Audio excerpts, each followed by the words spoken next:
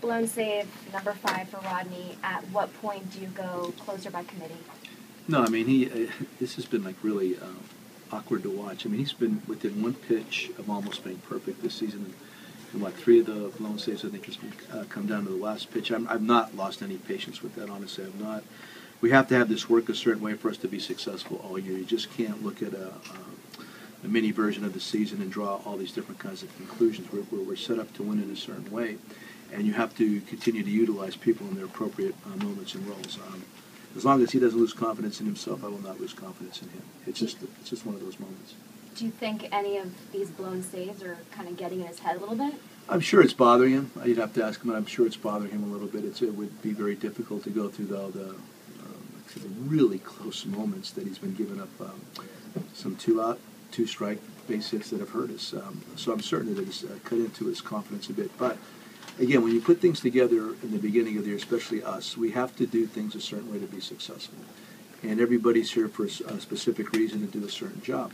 So I'm not going to run away from guys when they're struggling a little bit, and I, and I don't think he's struggling a lot. It's a little bit, like I said, one pitch away from being pretty darn good. And it wasn't even about the hits; it's about the walk. The walk to uh, Overbay is the most important uh, moment in that game. And then furthermore, we're all sad right now because we had bases loaded, one out in the tenth, and, and then uh, we get strikeout, and uh, then the last out was made. I can't remember what, what happened with. Uh, or Joyce ball to first. But even even beyond that, back Escobar bullet to right field where Ichiro was in the right spot. So again, we did we did a lot of things well. We had the game won probably twice and gave it up, and I'm not just going to put it on one guy.